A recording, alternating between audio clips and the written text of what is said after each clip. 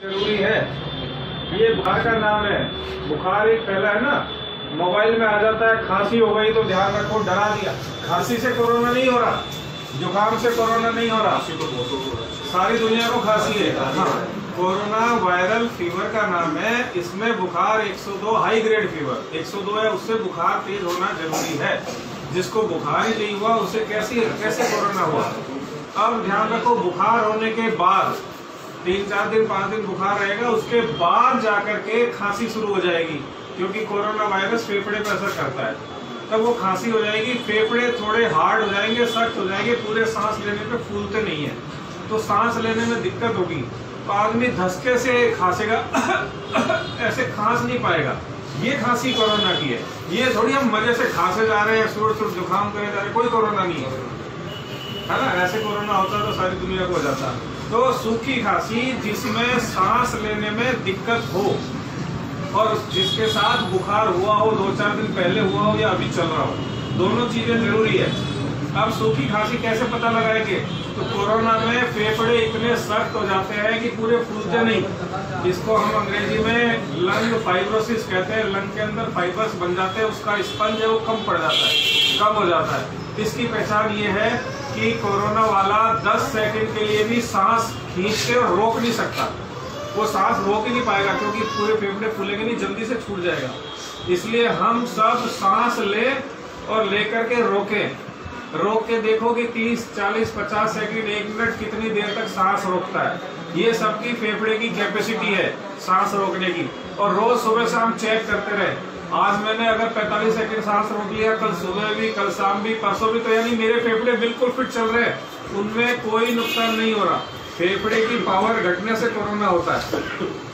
ठीक है तो ये चेक चेक अपने कर सकते हैं कि अगर हमारे लंग्स का एक्सप्रेशन ठीक है तो कोरोना वायरल फीवर है, होगा, ठीक हो जाएगा।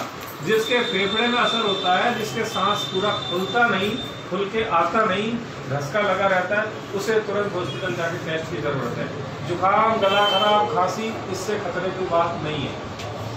दो काम मास्क लोगों ने लगा रखे हैं।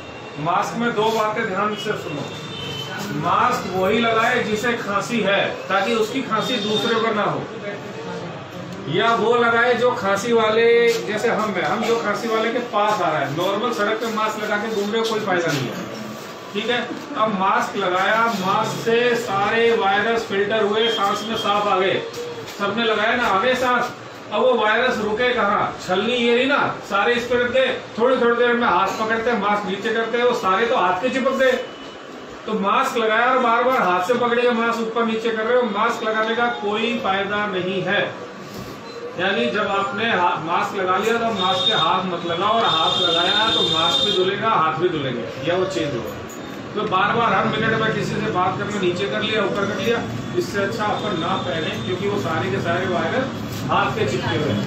तो फ़र्स्ट चीज़ तो ये सेकेंड चीज़, किसी खांसी वाले के पास जाए, तब लगा ले, या हम खांस रहे हैं, तब लगा ले। नॉर्मल अपन घर में या अकेले कहीं जा रहे हैं, कोई ज़रूरत नहीं है। और अगर कोई खांस भी रहा है तो एक डेढ़ मीटर से ज़्यादा वो बैक्टीरिया या वायरस जल्दी ट्रेवल नहीं करते। तो एक डेढ़ मीटर का गैप है तो कोई ज़्यादा खतरा नहीं है। ऐसा नहीं है कि पड़ोसी ने छींक दिया अरे यार कोरोना आ गया, कोरोना आ गया। ठीक है?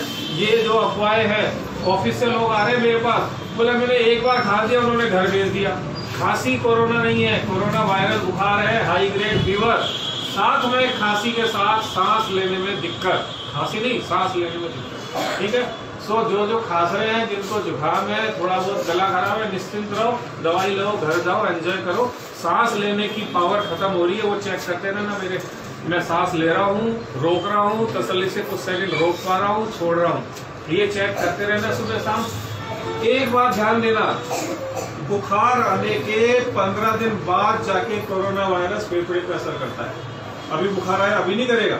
दस पंद्रह। आज जिसे बुखार है, वो अगले आज से अट्ठाईस दिन बाद तक, यानी चार हफ़्ते बाद तक अपने फेफड़े को चेक करता रहे कि फेफड़े में सांस लो, रोको। आज मैंने पैंतालीस सेकंड सांस रोका, कल भी उतना रोका, परसों। ये चलता रह रहा है तो हमारे फेफड़े पे किसी बीमारी का कोई असर नहीं। ठीक है? बुखार ठीक होने के बाद भी सांस रोक के प्रैक्टिस करते रहना चेक करते रहना, और तो निश्चिंत रहना। ठीक? कोई और क्वेश्चन होगा तो